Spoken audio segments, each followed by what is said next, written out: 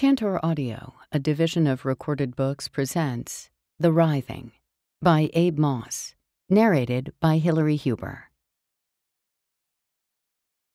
Prologue Come home, Alex.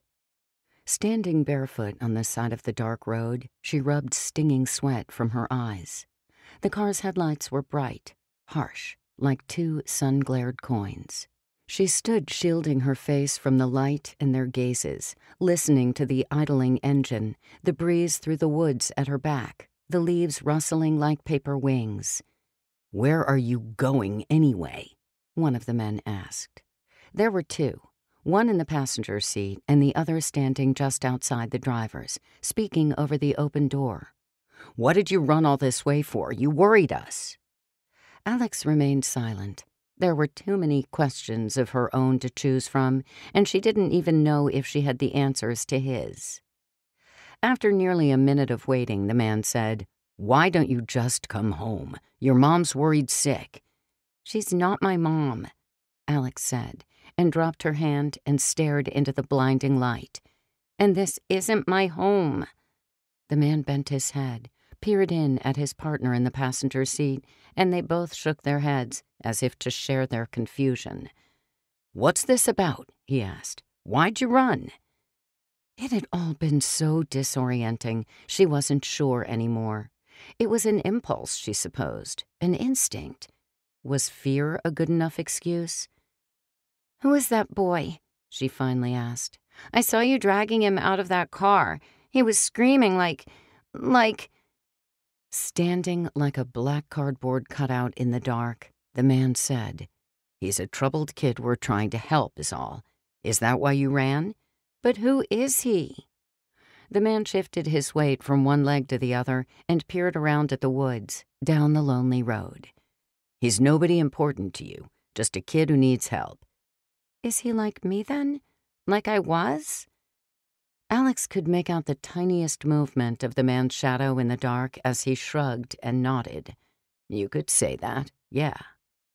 They stood a while longer, a standoff of sorts. Alex couldn't decide what it was she wanted from them, but going back gave her an uneasy feeling, a cold, twisting in her gut, like nothing good would ever come of it. You can ask Helen all the questions you want when we get back. I know she'd be glad to know you're safe and not out here alone. Helen doesn't give a shit about me, Alex thought. She was now beginning to understand after six years. She still didn't really know the woman, not deeply or personally. She often seemed one way to her and then entirely different in an instant. Tonight, Alex witnessed a side of her she never expected vicious, ruthless. To put it plainly, Helen was unpredictable. Will you let us take you home? She could always keep running, she thought. But again, she didn't know what she was running from, or better yet, where she was running to. The road on which they stood, lit under a midnight moon, only ran two ways, like most roads, and only one direction's destination was certain. She sighed, defeated, and went to the car. The man opened the back door for her and she got in, that terrible doubt alive and writhing inside her. It was done, she thought. She'd chosen this fate. It was a longer fuse in place of a shorter one, which would ultimately achieve the same result in the end. She would go back to them, to Helen, to Amberton. She smiled at the thought, as if she had anywhere else to be. The Woman and Her Ghost, Part 1 1. Loneliness. Lucy froze. Her husband was making his way down the hallway. She raised a hand to him. He came to a stop, and his eyes flickered between her and the front door. What is it? he whispered. She straightened her arm out again, emphasizing the flat of her palm. Wait. Another knock on the door. Aaron didn't seem to understand why she wasn't answering it, but he obeyed anyhow. After another moment, he whispered, Why aren't you answering the door? She mouthed one word, enunciating it silently with perfect clarity. Brenda. Aaron shrugged and continued toward the kitchen. Hey, she whispered after him. He turned and she jabbed a finger toward the floor, her eyes bulging. Feet. He stopped, hands raised by his head, and mouthed, Okay. After it was safe to assume she'd left, Lucy tiptoed to the door and peered through the tiny peephole, spotting the back of a green hand woven sweater in the dark, making its way down the front porch and over the lawn. Lucy turned, back against the door, and sighed, her shoulders sinking dramatically with relief. That was mean, Aaron told her, grinning smugly as he entered the kitchen and made his way to the refrigerator. Oh, don't even. You'd be doing the same if you were me. She's crazy. She isn't crazy. But she is. You know what she does. The stuff she does isn't crazy, he said. It's more desperate. She followed him into the kitchen, staring skeptically at the back of his head. Desperate? Maybe. She thinks we're best friends. A delusion. Delusions are crazy. He poked his head in the fridge. What do you mean she thinks you're best friends?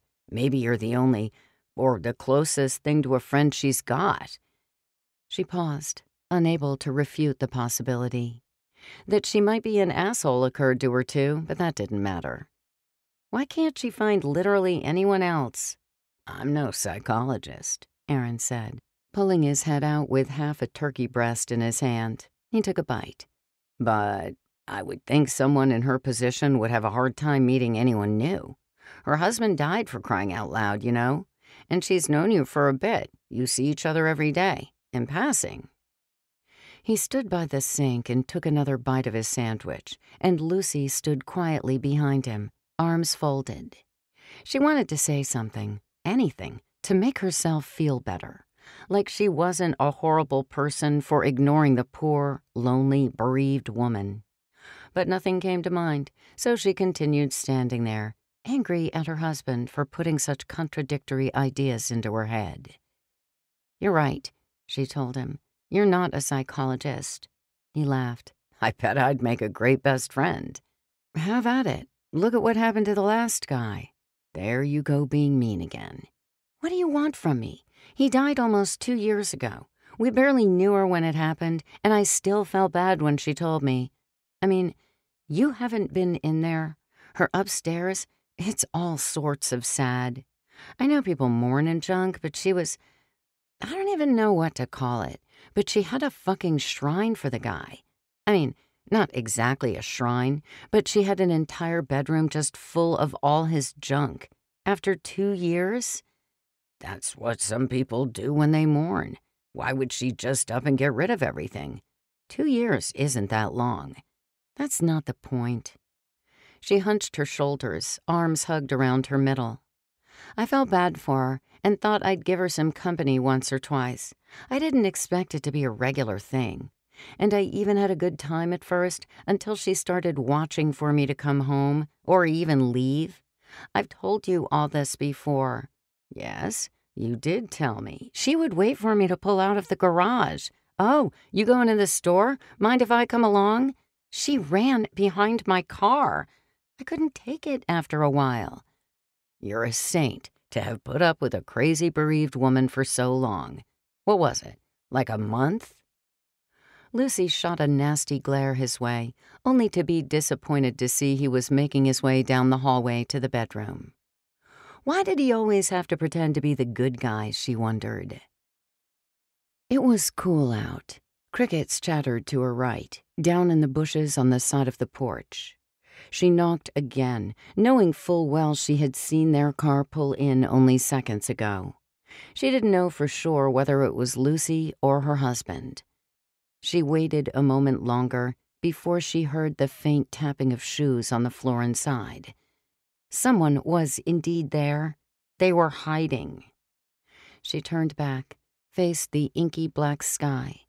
Full of defeat, she stepped down from the porch and made her way over the sprinkler dewed lawn, flip flops flapping. Why do I do this to myself? she thought. Lucy Frampton wasn't a nice person, so why did she want her company so badly? The more she thought about it, the more she thought she didn't even like her. She was possibly even starting to hate her. Hiding from her like that, like an uppity snob, Brenda thought as she crossed the street. She almost thought it would feel good to slap her around a little, show her she's not the queen she thinks she is. As she approached her own home just across the street, the sounds of the crickets died, and even the sound of stirring evening air dissipated. She came to the door, reached for the knob. She imagined a hand on the other side, feeling the knob with dirt coated fingers, the skin peeled back from the fingernails, the flesh eaten away to reveal thick, sinewy strands flexing back and forth. But that was impossible. The dead stayed dead. Only crazy people believed otherwise, and Brenda was definitely not crazy. Lonely, yes, but crazy? No. She opened the door. It cried shrilly. She stepped inside. She was alone. No animated corpses here. She walked down the narrow entrance hall, checking each dark doorway as she passed, and then continued up the stairs to the upstairs hallway. Her bedroom waited at the hallway's end, opposite the guest bedroom, whose door stood ajar, a dim blue light flashing from its gap. Of course, she thought. She stepped into her quiet bedroom, turned around, checked the hallway once more, shut the door behind her, and fastened the lock. She sighed. From out in the hall came the creak of an opening door. She waited. She didn't know if she actually heard footsteps or just imagined them, anticipating them. It was so quiet, even the silence seemed to hum a silence that could drive a person mad. A knock on the door. The knob rattled. No, this is my private time, Brenda said. She rolled her eyes as if she'd known it all along and turned to her closet. She flung the door open, the fists still tapping in the hall. She pulled a large, silky lavender nightgown from its hanger, held it up. It fit right, but she couldn't help but look at it disappointedly. She was a larger woman, stout. Sometimes she wished to change that, but then she always thought, for whom? She folded the gown over her arm and walked into the adjoined bathroom. She got the shower going, and while she waited for the water to warm, she looked in the mirror. What's happened to my face? She wondered. She was only in her mid forties, but she looked so much older. Her mouth was sad, the corners drooped and tired. Stress and tragedy had aged her, she thought. She undressed and stepped into the shower. Chills covered her shoulders and the backs of her legs at the water's touch. For a moment, she smiled. She felt her face, ran her hands through her thinning brown hair. Lucy, she muttered. She both envied and despised her. Not only did she have a perfect life, a perfect husband, a perfect, beautiful body, but she had to be a skunk, too.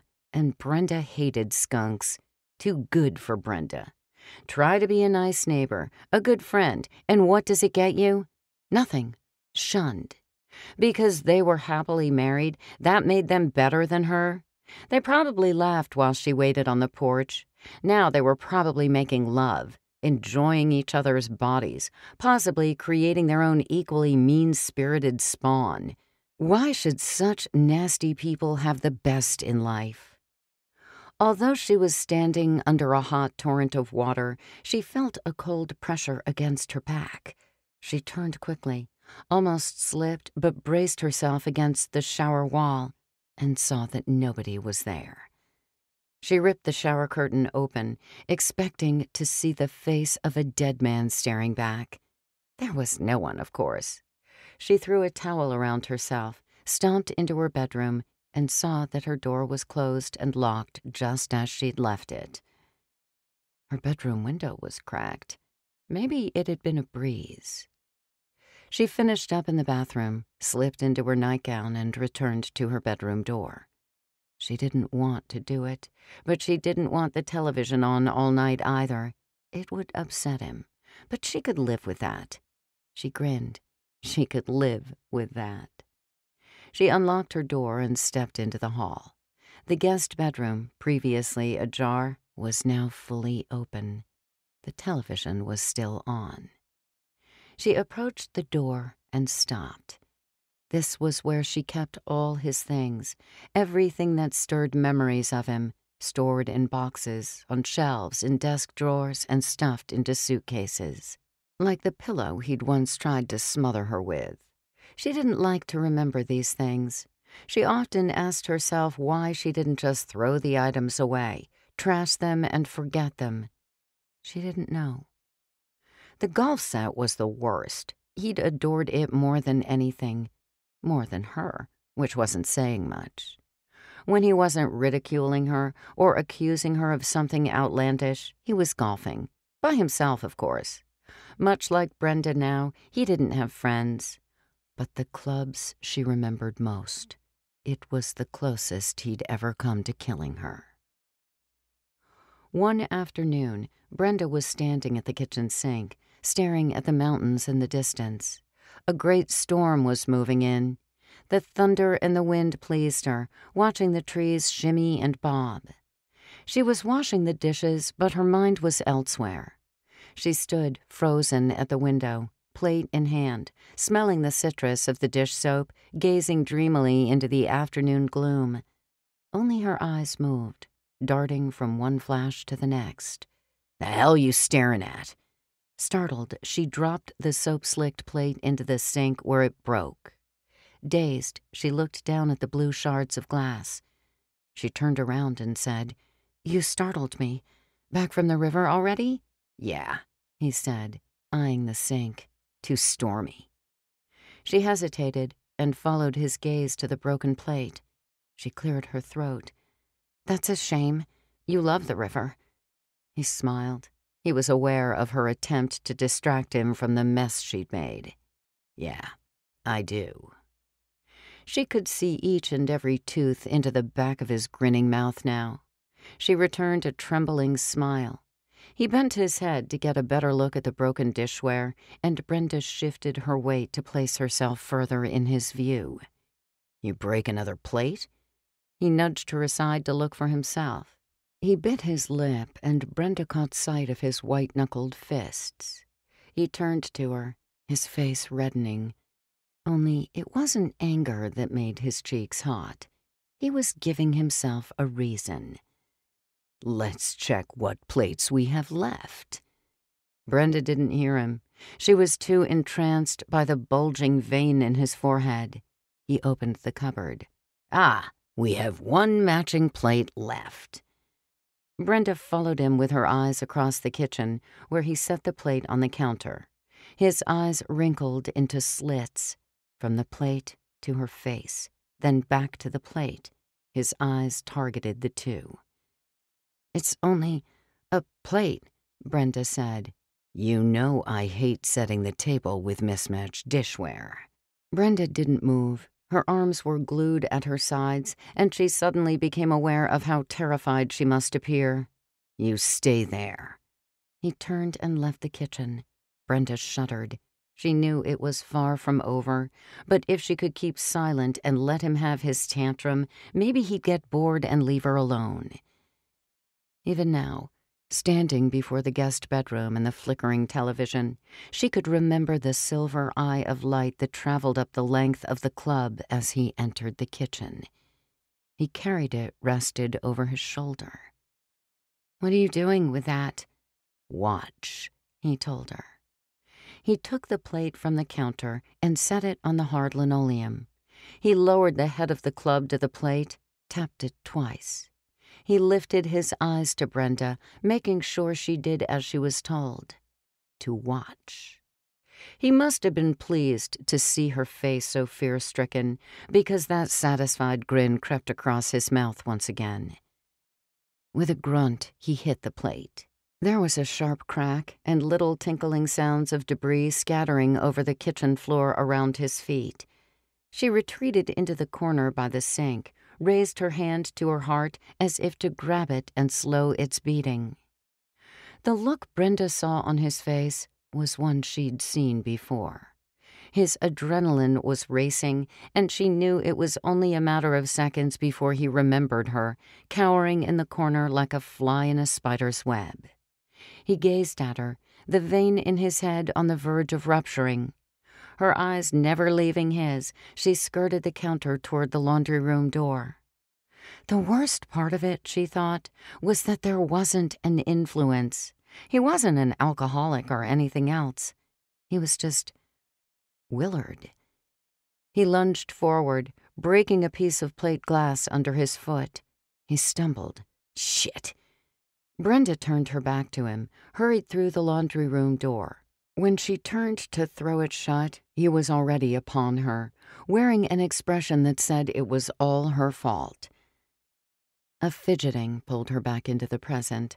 Her fingers rolled into fists, her legs locked hypnotized by the snowy static on the television. She pulled a strand of wet hair behind her ear. It was only a memory. She entered without turning on the light, fearful of what she might see, fearful of the light that might reflect on any long, slender steel object stowed with the rest of the boxes. She made her way to the television, catching the movement again in the corner of her eye.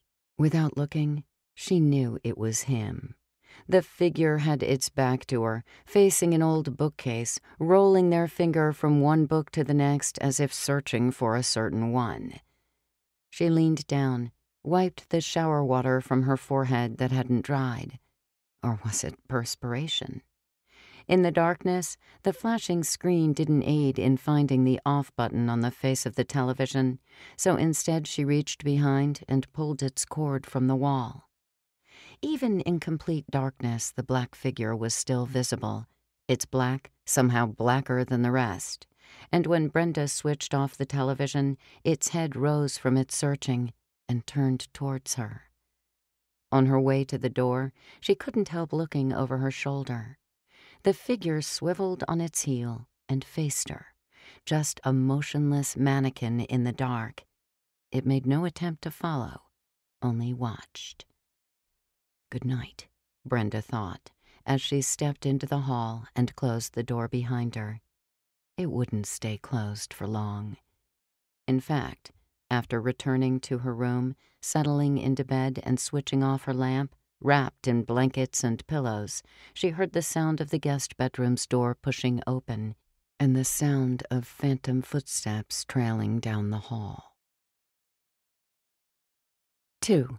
Willard.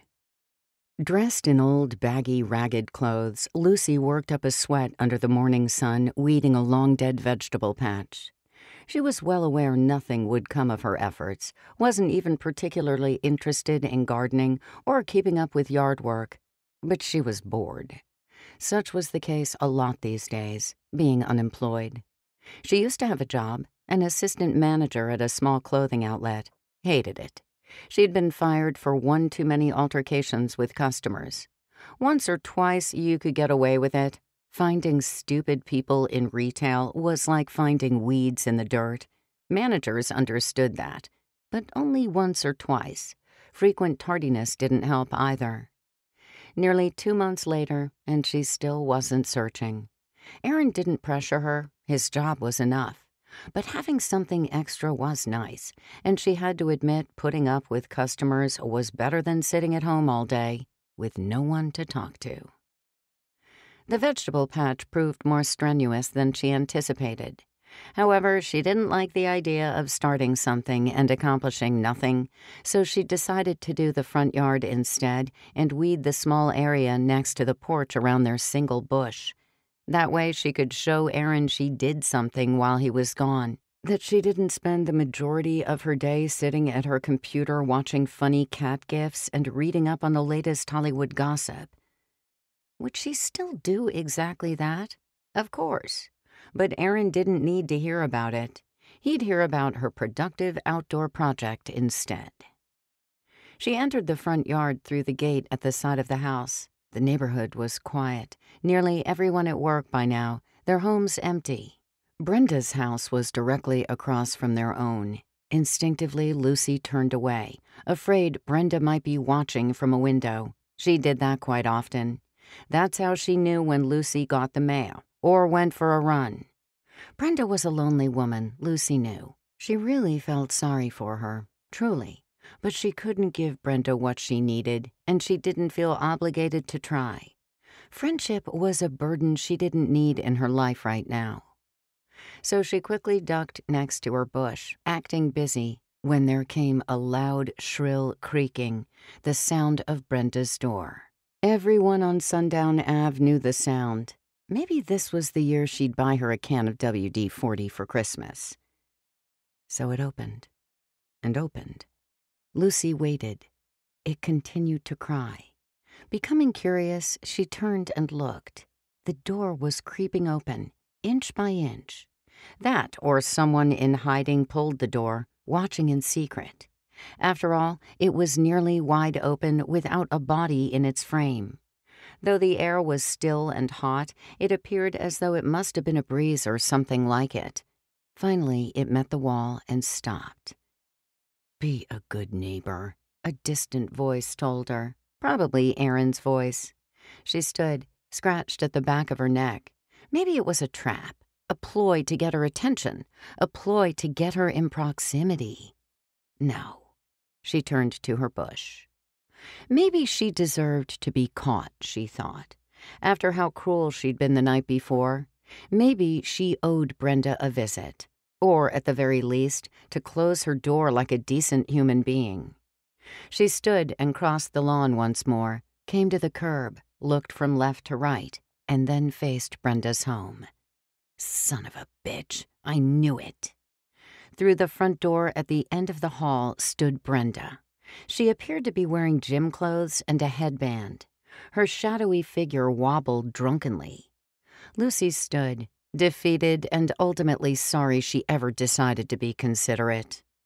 At first, she was sure Brenda saw her standing across the street. She would wave and come outside, comment on how strange it was that her door should open on its own, all according to plan. But instead, Brenda came to a halt halfway down the darkened hall and stopped, leaning tiredly against the wall. Lucy's fingers twitched at her side. Was something wrong? After a moment, Brenda began to slowly shake her head from side to side. Perhaps she was drunk. Lucy, feeling torn, raised her hand to wave at Brenda, to wake her from the strange trance in which she seemed to be caught. Just as she did, however, the door began to close.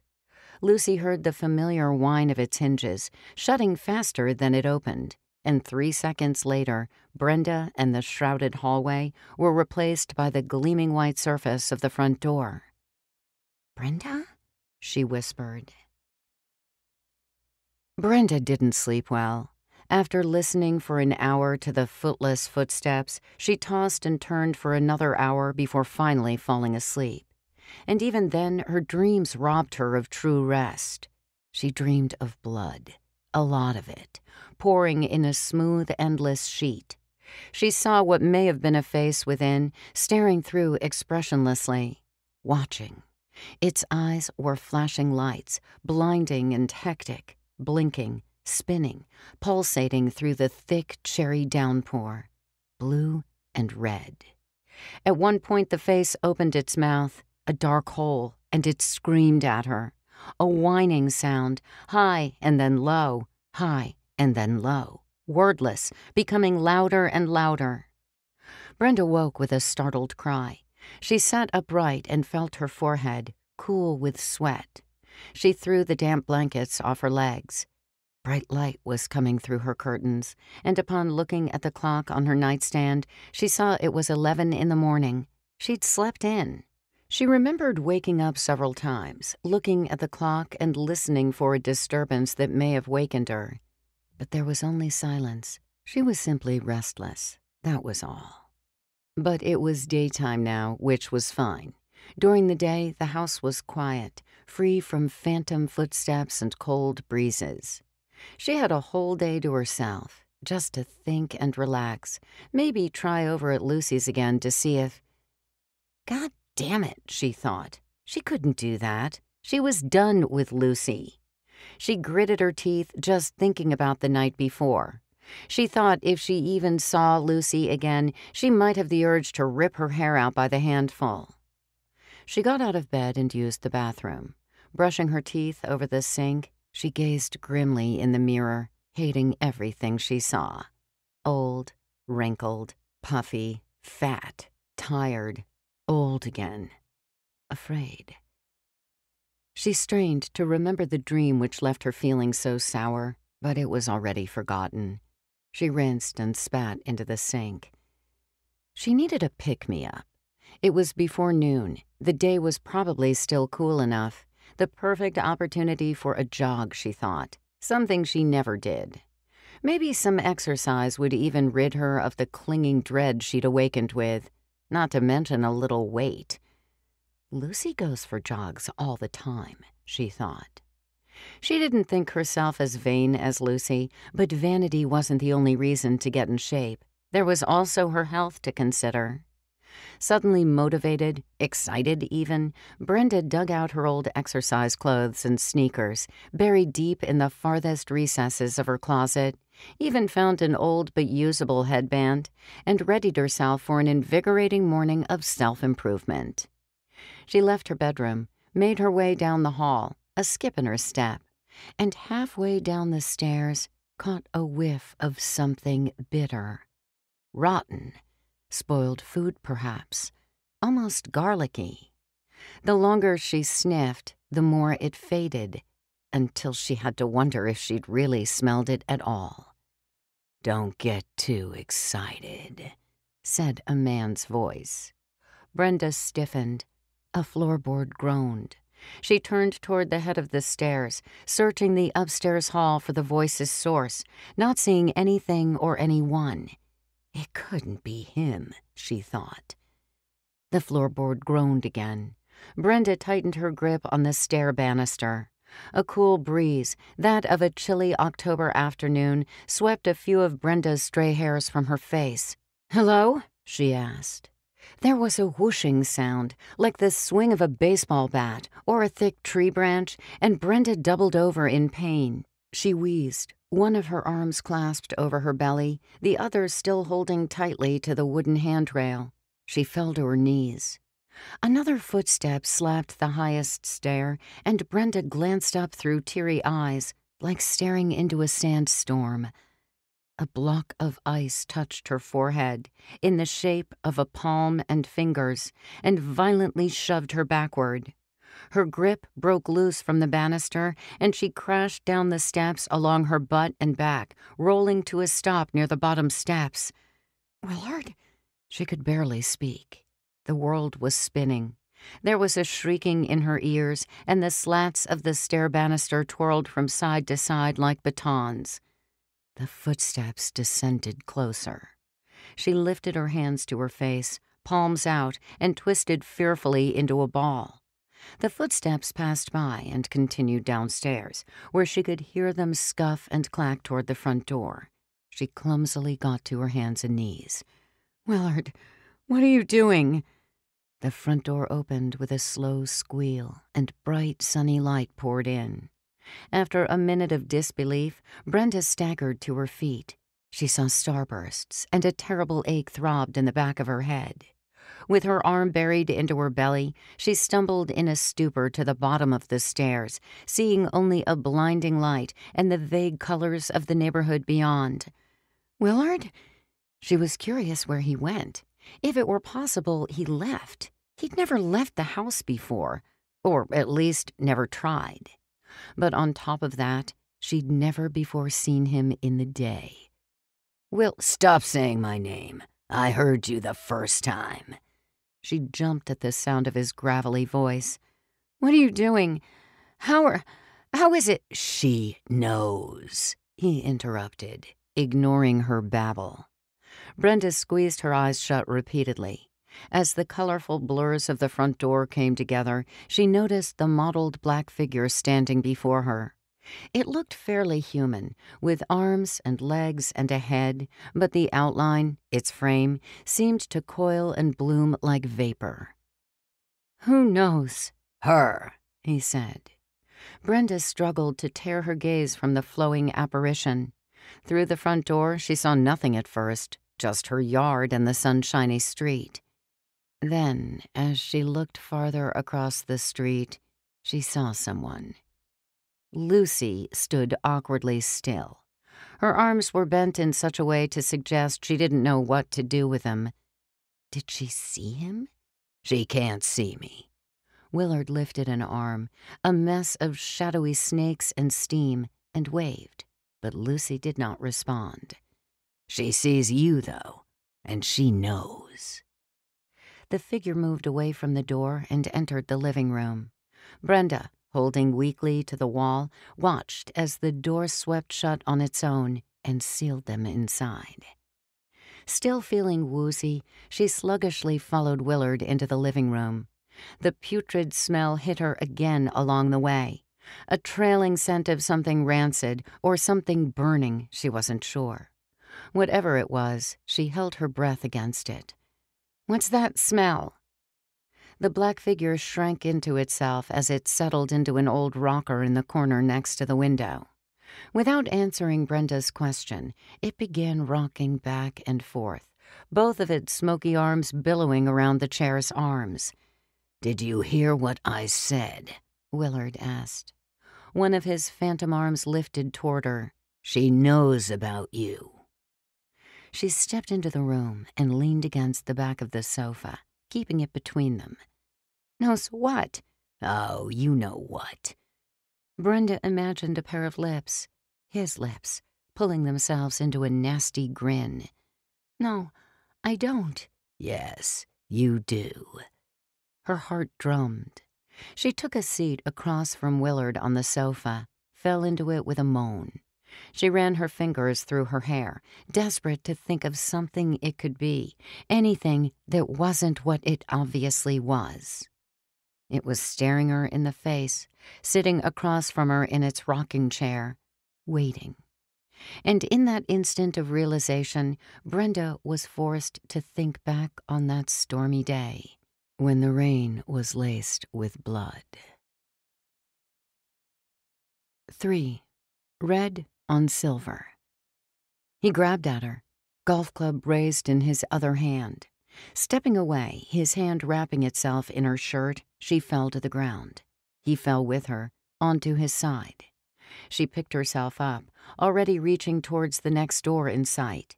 She looked over her shoulder, saw him clumsily getting to his feet. She pulled the door open and bolted into the chilly gloom of the garage. She ran to the driver's side of their SUV, knowing the passenger door would already be locked.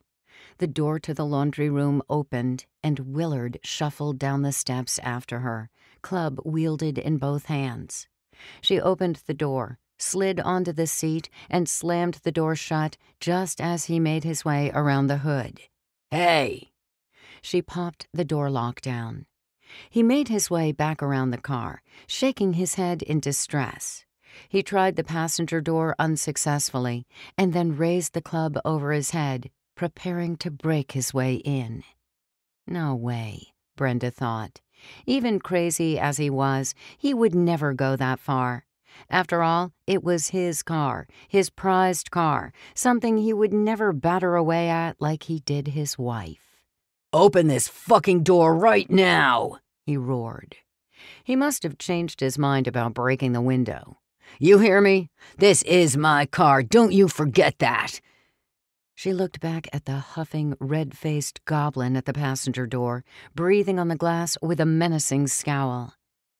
He had once been different. A long time ago, when they'd first married, twenty something years ago, everything was sugar plums and double fudge brownies. They had fun. They saw movies, went to parties, went camping, went shooting with his gun buddies, when they were still around. It was all his idea of fun, sure, but she learned to enjoy it.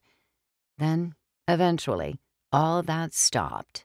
They stayed home, watched TV, went to bed. His gentle touches began to bruise. His soft words grew louder, rougher. His voice hadn't always been so gravelly. Even his scent changed. When once he smelled of mint and aftershave, now he reeked of smoke and something unplaceable. He rapped his fist on the passenger window, saliva speckling the chilled pane as he shrieked unintelligibly.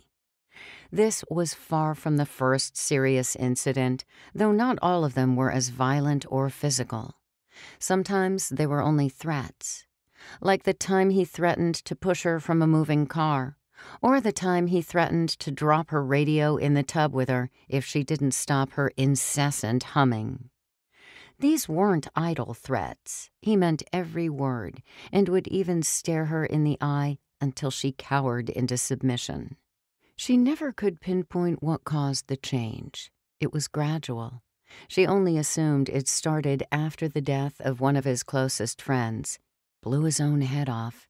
It was ruled an accident, and Willard never touched a gun again. But she didn't think she could take any more. She didn't think she'd survive another like this. Sitting in the SUV, her heart pounding, she truly believed if she hadn't run, she'd be lying dead under the kitchen sink, with no one in her life to know differently. She had no family. If he killed her, there would be no difference to the outside world. She practically only existed in his. If she made it out of this, she had to make some friends, she thought. When she looked again at the passenger window, Willard was gone.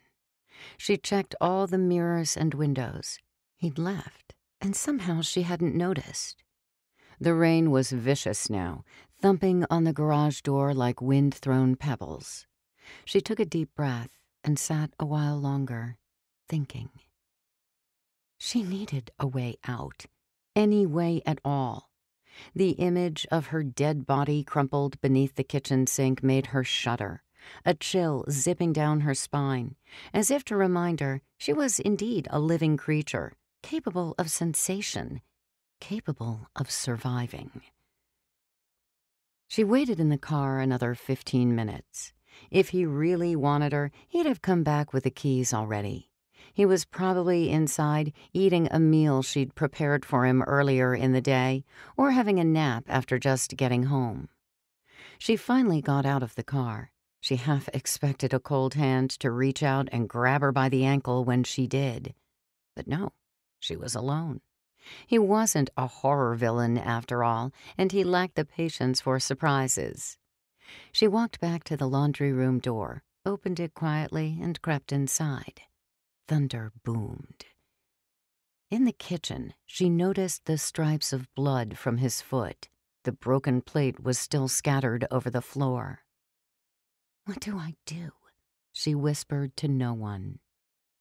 As if in answer to her question, lightning flashed and something glittery on the kitchen counter caught her eye. She reached for it carefully, daring to touch it. When her fingers slipped gently over its polished surface, the hairs on the back of her neck stood on end. She held its shaft in one hand, squeezed its grip with the other. The club was just heavy enough to feel dangerous and lightweight enough to feel manageable. Was she really considering? She stepped over the broken plate and continued from the kitchen into the main hall.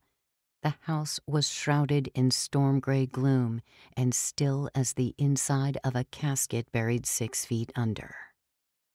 Her first step sent a groan through the stairs. She paused. Thunder rumbled overhead. She continued up, step by step, a stampede of hooves in her chest until she reached the upstairs hallway. Only their bedroom door stood open, letting a wedge of silver light into the black hall. She went to it, gliding soundlessly in the dark like a ghost. Turn back before it's too late, she thought. She stopped in the doorway. There he was, lying in bed. He was on his back, head propped on a pillow, hands locked over his chest like a funeral parlor corpse. Lightning flashed again, dousing the room in rain shadows. It was a morbid fantasy, she thought, nothing more. She should put the club away before he woke up and saw her standing there and things got out of control. Or do it now and get it over with. Her heart pounded faster. She felt it in her belly. She raised the club. Her hands were shaking. Thunder rolled overhead. Willard lay frozen. She raised the club higher still. Forgetting to breathe, she let out a shaky sigh. She moved toward the bed, legs wobbling numbly. Her whole body quivered under the weight of the club, growing heavier as her arms softened like hot tar. She stopped at his side, swallowed dryly. He smiled in his sleep, and she wondered what he dreamed of. This is a mistake, she said aloud, and her eyes grew wide at the sound of her own voice. Willard's opened wide as well. They flitted in her direction, spotted her there, club poised near the ceiling, and before he could blink, she brought it down, like an executioner at the gallows. He opened his mouth as if to scream. The head of the club chopped into the cave of his eye with a sickening thump. His body went slack. Brenda uttered a single gasp of revulsion. She let go of the club, which slipped from his eye with a sticky gulp and fell to the floor. Oh, God! She stood petrified. There was a humming, a ringing, inside her head, deafening. She saw a strange red blur when she blinked, something on her eyelashes. She pinched them lightly and found a smear of blood on her fingertips. Oh, God! She ran to the bathroom. Staring fearfully into the mirror, she found one more freckle of blood on her cheek. She ran the faucet and splashed cool water over her face, then pulled a washcloth from one of the drawers and hastily dried herself. Now what? she wondered. She hadn't thought any of this through, not the slightest bit, and now he was dead. The last several minutes didn't even feel real. She'd been looking through someone else's eyes. She took several deep breaths and was stunned to find her heartbeat had calmed and her hands weren't shaking so badly. She almost felt relieved. She went back into the bedroom, where Willard was still dead, red and whitish goo dripping down the side of his face. She returned to his side and stopped to think. Now what? The blood running down his face had spilled onto the pillowcase, and some of it had dribbled onto the bed sheet. She picked the club off the floor, wiped it onto his pillowcase, and then placed the club in the bathtub, which she filled with hot water a few inches high. She tried to move him from the bed carefully, but the weight of his corpse surprised her. It thumped to the floor, and she hurriedly placed the bloodied pillowcase back under his head. Where does one hide a body? she thought. She sat on the edge of the bed and pondered. Plenty of times she'd fantasized about his death, but never by her own hand. She wondered why that was, given that the actual thing had been quite satisfying. But now she had a problem. She needed a plan, something to exclude her involvement. She considered burying him in the backyard, but thought better of it.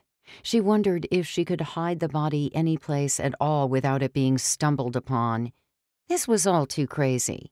She felt crazy, which worried her immensely. Then it occurred to her the river. That's where he'd been, after all, before coming home. He'd mentioned that it had been too stormy. It was perfect, she thought. She removed the bed sheet and wrapped it firmly around his head to prevent any more blood from dripping. After his head was in a bundle, she pulled the pillowcase over it, which held snug. She took hold of his feet, one of them with a new bandage over the heel, and dragged him away from the bed, lugging his body through the bedroom doorway and into the hall. Something about dragging his frail body through the house pleased her. Perhaps it was that for the first time ever, she was in control. He was completely at her disposal. She pulled him down the hall, and his trailing hands squeaked faintly across the floor. She hurried down the stairs, banging his body along each step. She continued through the downstairs hall and through the kitchen, where Willard's body carried pieces of glass into the laundry room. Holding the door open, she haphazardly pulled his body down the cold concrete steps into the garage. After placing his body in the back seat, which took some laborious heaving, she returned inside and retrieved her raincoat, boots, some gloves, the car keys, and one of Willard's backpacks for later. Back in the SUV, she put the gloves on while the garage door rattled open. The rain was still falling in sheets. She reached up and adjusted the rearview mirror, tilted it down briefly to get a view of the body in the back. She started the car and reversed out of the driveway, applied too much pressure on the gas, and squealed the tires in the rain when she stomped on the brake. Just some jitters, she thought. She put the car in drive. By the time she reached the end of Sundown Ave, she could feel the warm air from the heaters on her face and arms. The wipers whined back and forth. She turned the radio on. She knew she didn't fully understand how everything would proceed once she got back, the police and all that. She feared she'd missed some important detail, something someone more knowledgeable would recognize instantly. Worst case scenario, she thought, would be admitting to the murder and claiming self defense, because that's what it was, wasn't it? As she found her way out of town and onto the interstate, the sky grew darker and the thunder louder. An old country song played, and in the distance, lightning daggered into the mountains. Brenda thumped her gloved hands against the wheel and hummed to the tune of the song. Willard's dead body rocked in the back seat. Twenty minutes out of town, the wilderness took over. She drew nearer to the mountains, great thick pines in all directions. Soon, the valley merged into the foothills until she entered the canyon, and 20 minutes after that, following the winding canyon road, she came to the turnoff. The weedy dirt road, muddied by rain, led her to a medium sized clearing, the river raging on the far side. Unremarkably, on a day like this, no one else was there. She stopped the car and removed the keys from the ignition. Rain pattered on the roof. The idea that she was dreaming suddenly seemed more plausible than ever. Am I really here? She stepped out of the car and was greeted by a wet, frigid breeze. She paused to stare into the rain, the sky a solid ceiling of murk. Am I? Her feet crunched on rocks and sticks, bubbled and gulped in the mud. She stopped at the riverside. It was faster than she'd expected, surely a death trap to anyone who found themselves falling in. And in the white, foamy thrashes were black, jagged tips peeking up with glimmering faces. This gave her hope. She walked further along when something caught her attention a familiar roaring in the distance. She followed the river a minute from the car and discovered a drop off. Nothing major, five feet or so, but enough to do some damage, she hoped, enough to mask old wounds. She smiled broadly. The smell of wet wood and pine carried itself to her, and she breathed it in, tasted it. She thought it might be the smell of freedom. She made her way back to the clearing. Even stormy as it was, the river was a neat place, she decided. She could see why he liked it so much the seclusion, the nature. It was a place a person could be themselves, or at the very least think to themselves. No distractions, no burdens, just the water and the birds and fresh air. Today was a little much, she agreed with him there. She arrived at the clearing, and immediately she could tell something was wrong. Something was off. She slowed as she neared the SUV. It all looked the same, but there was something different, out of place. Her gaze drifted across the car, across the mud, and then she spotted the white pillowcase, carried by the wind, catching in the weeds at the clearing's edge. Oh, God! A scream tore through the rain. A figure emerged from behind the SUV the body of her late husband, balancing itself with its hand upon the hood. Now she had to be dreaming, she thought. He spotted her across the clearing with his one good eye. She took a step back, felt her shoeless foot sinking into more mud and leaves. He barked something at her, but she couldn't hear. Another step back. He felt along his cheek, touched his fingers to the oozing socket, examined his bloody fingers, and screamed again. Another step. Lightning flashed. You! he screeched. How are you still alive?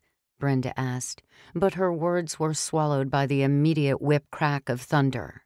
He stumbled forward. His lips curled towards his nose, revealing his sharp, lizard like teeth. He charged at her, head bowed like a bull. Brenda turned to run, slipped in the mud, and fell to her hands and knees, biting the tip of her tongue in the process.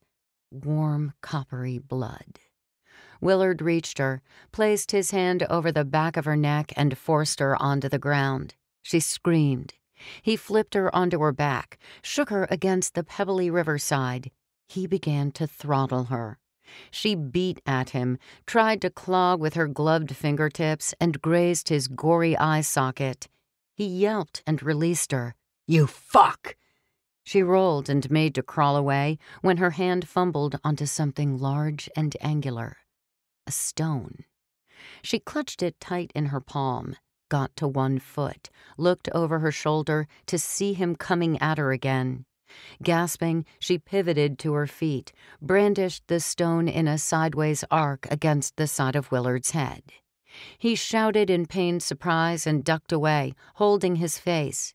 She came at him again, brought the stone down on the back of his head, and he collapsed to the ground. You fuck! she screamed back at him. You fuck! She bent over him, turned him over, and clobbered him once more against his temple. He stared glazed eyed at the sky. Brenda sat at the river's edge and wept. When she finished, she dragged Willard's body under the arms and heaved him into the wet rushes. He flopped in, face down, and the river carried him away bobbing and turning against the jutting rocks until his dark shape disappeared over the drop. With that, she made her way down the riverside to retrieve her shoe and then back to the car, where she fetched the backpack and stuffed into it the bedsheet that was hanging halfway out of the back seat and the bloody pillowcase still clinging in the weeds. She slung the pack over her shoulders, gave one last look toward the river, and then started for the road. She would then hike a few miles before giving in and hitching a ride back to town. After getting home, she would wait a day. Then she would report her husband missing, and the police would ask her questions pertaining to any possible whereabouts. Brenda would explain to them that after having an argument, he left her home alone, most likely to go to the river, which she would explain was his favorite leisure spot, or to the bar, because it was stormy that day after all. After a day of ample searching, Willard's body would be found pinned by the river to a large rock a mile and a half from his car. Any footprints near the car would be washed away by that day's rain. Then, after she was in the clear, living in a house with no mortgage, and thanks to the combination of Willard's long-time high salary position, his strict, frugal handling of finances, and his failure to create any kind of will, more money than she knew what to do with, though she'd spent it sparingly, never daring to enjoy herself too much. She would wash away the blood and be left with only time on her hands. Lonely, paranoid, haunted, time. 4. Suspicions. Her bedroom was a little girl's room, dressed in shades of purple a bed covered in pillows of all shapes and sizes, a white shelf filled with stuffed animals and glossy white dolls, the walls painted lilac, a white dresser topped with books and more animals, and a lamp with a bendable neck, which lit the room in a soft yellow glow. Alex sat in the deep alcove of the bedroom window, staring out at the breathing night. The curtains to the alcove were pulled together, shutting her inside. She held a pillow to her chest, wishing to fall asleep. She couldn't sleep the night before and didn't feel much like sleeping even now. She slid the window open a bit to listen to the sounds outside. Crickets cheeped, and a soft summer breeze swished the trees. A sudden jangling drew her attention, movement near the fence across the yard. Monk, she muttered. It was their dog, of course, an adorable beagle. She didn't much care for him. A light switched on in the house behind theirs, and Alex watched a figure move back and forth behind a closed curtain. That was Mandy's room. The figure came to the window and reached for the curtains, and before they could open them, Alex dove from the alcove and hurried to her bed. She didn't want to see Mandy yet. She'd avoided her all day. She didn't want to see much of anyone, really. A knock on her bedroom door. Alex, a woman said, is it okay to come in? After a moment's hesitation, yes, the door opened, and a tall, willowy blonde woman walked in. She was beautiful, Alex often thought with a secret envy. But beneath the beauty, behind her sharp eyes and her soft smile, there was a hidden guile, Alex knew. A wolf. She smiled politely and smoothed her skirt as she sat on Alex's bed. Are you all right? Alex looked toward the window with her hands fidgeting in her lap. Answer me the woman said. You've been quiet all day. You've barely left your room. I've kept my distance, thinking you only needed to cool off, but now we need to talk. I just want to know you're all right. Why would I be all right? Alex scowled. What part of running away makes you think I'm all right? Well, then let's talk about that. I don't want to talk about anything, Helen. The woman pursed her lips and bowed her head. I don't deserve this. I'm trying to be here for you. Just talk to me. Helen stood from the bed and paced the room, once going to the window and parting the curtains. She sighed heavily and returned to the foot of the bed.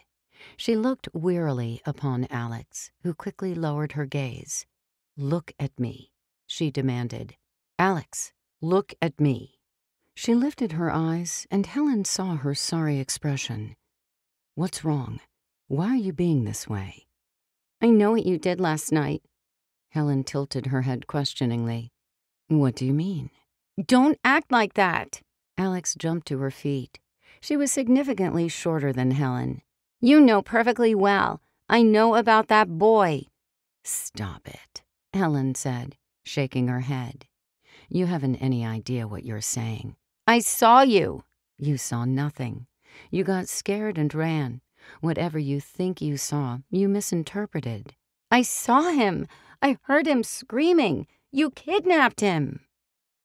There was a fury in her eyes for nearly a second before Helen struck it away by the skin of her cheek. Alex stepped back, hurt and shocked. I'm sorry, Helen said, but that's a serious accusation. Get these outrageous ideas out of your head before you get someone in a lot of trouble. Then why? She paused, worrying another slap might be in order. Why was he so afraid? He was screaming, like, like. He was frightened, is all. Just like you, remember? Remember when we first brought you home? His situation is quite similar. I don't remember being dragged kicking and screaming out of a car. Helen raised her hand gently in a stop where you're at gesture. This conversation is done. I want you to get some sleep. You must be tired. Only if you're lying, Alex said. Helen sighed, bracing herself. You're always gone at night, and you've never told me why. Then the one time I decide to follow you, I see that boy and the way you were treating him. Helen was silent. She stared off absently, I'm too tired for this. Perhaps we can talk about it later, after you've cooled down. In a few days, maybe when you're ready to be a little more level headed. I need to be able to explain myself when you'll actually listen. Why can't you just tell me? Alex rubbed her cheek, a fading red blot. Helen pulled her to her bosom gently and kissed the top of her head. I'm sorry I hit you. She got up and went into the hall. She paused with her back toward Alex and said, Go to sleep. Alex sat in silence as she closed the door. Another door closed across the hall. Alex turned off her light and climbed into bed. Was he all right? She wondered. Was what Helen said true? That he was like her? She tossed and turned for another 25 minutes thinking about it, feeling more confused than ever. Most of all, she felt lonely. Everything felt different. She realized how little she actually knew Helen, or anyone for that matter. She longed to have a friend with whom she could wonder about these things. It was as though everything was a secret, and she was the only one not clued in. Six years, and she was still the newcomer, the outsider. Except now, there seemed to be another. That boy. On the brink of sleep, she found herself wishing for guidance from faces she hadn't seen for years, wishing to be cared for by hands she hadn't held for just as long, hoping it was possible for them to be watching over her, trying to help her find her way, even if she couldn't feel them there. Though she wouldn't remember it the next morning, just as sleep washed over her, she whispered in the dark, Help me, someone. 5. The Visit It was late when Aaron pulled into the garage. He found himself working late more often than not these days. He never complained. In the office or at home, it made no difference. Both were places of social politics, hidden agendas, underlying jealousy or resentment.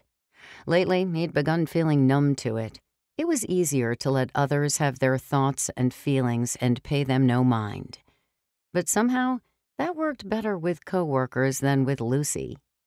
He sat in his car a minute, taking a quick breather before heading inside.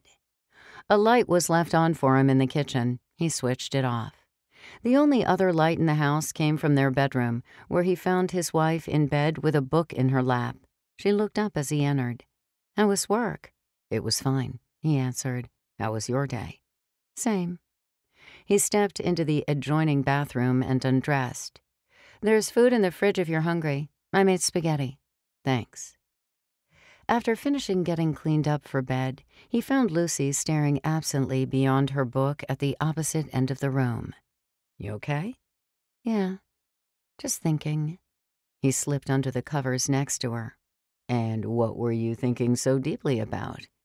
She put her book down. About Brenda. Oh, look, I shouldn't have been so uppity yesterday. I'm sorry. You weren't. No, it isn't about that, she said. She paused. I saw something really strange earlier today when I was out weeding. You were out weeding? Only a little. She turned to Aaron. I want to tell you something, but you're going to think I'm crazy. I already think you're crazy. He paused for laughter, and there was none. Kidding. No, go on. I'm listening. She sighed and pulled her legs to her chest. It was unlike her to have a story when he came home, or much to say at all for that matter. I was weeding out front, she began, and I heard someone's front door squealing open. I knew it was Brenda's because her house is the only one on the street that does that.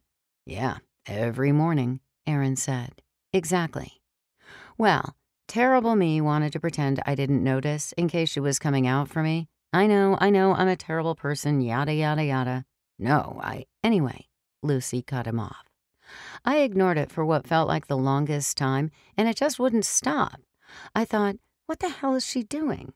And so I turned around, and the door was wide open, and there wasn't anyone there. Oh. Hmm. Maybe.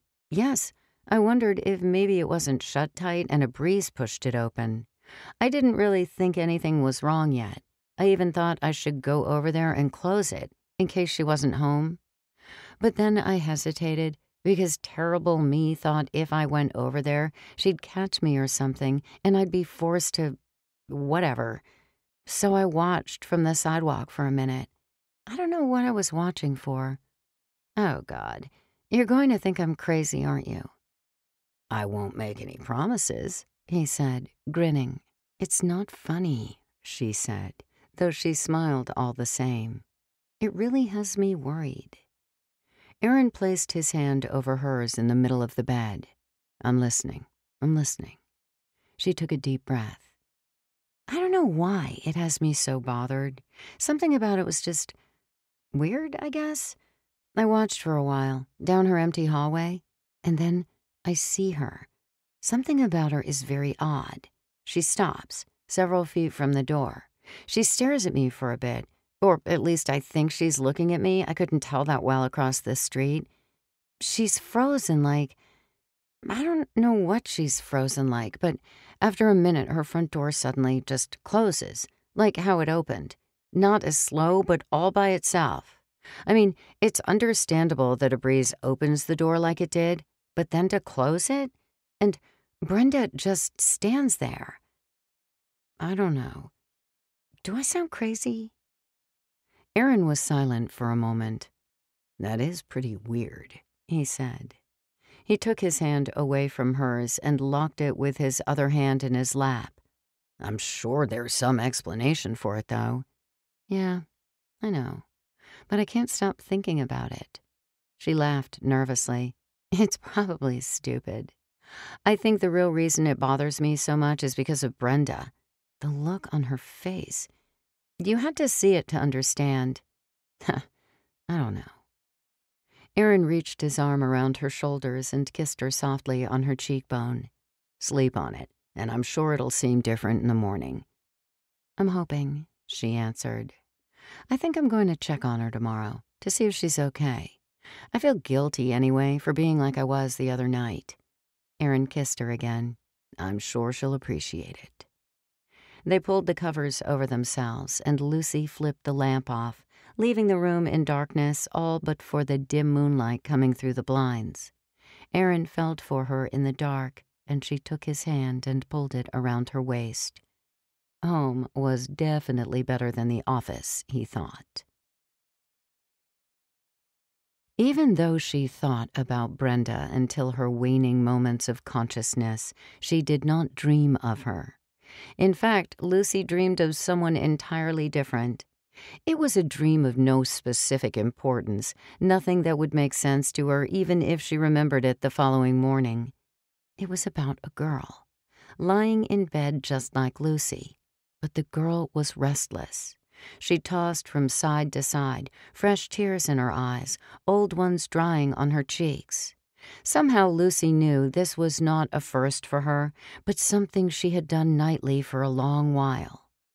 In the dream, Lucy stood in the girl's bedroom, a room completely foreign to her. The girl lay with a sad expression, and while Lucy stood at the foot of her bed, she would glance up at her, blink her eyes. Lucy thought she could almost hear the girl speaking to her, though her lips never moved nor breathed a whisper. The following morning, she would only have a vague recollection of the dream and would think nothing of it. After reliving Willard's murder, Brenda looked about herself in the living room. He was gone, his dark shape no longer inhabiting the rocking chair. She was alone, and she shivered with the loneliness. In fact, she shivered so terribly she had trouble making it to the bathroom before vomiting into the toilet bowl. She wondered if maybe she'd imagined it all, that maybe she was going crazy and hallucinated the whole thing but the bruises said otherwise. And later that night, when she lay in bed and wondered these things, he appeared to her again. Her bedroom door opened, and his black shape approached her side. She felt the bed sink, and the springs wailed beneath his phantom weight, and he spoke to her, repeating only what he'd said before. She knows. She struggled. We hope you enjoyed this preview. To continue listening to this audiobook on Google Play Books, use the link in the video description.